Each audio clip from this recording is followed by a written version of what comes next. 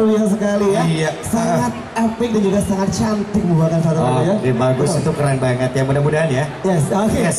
Baik ya pastinya uh, list untuk menyanyikan lagu wajib.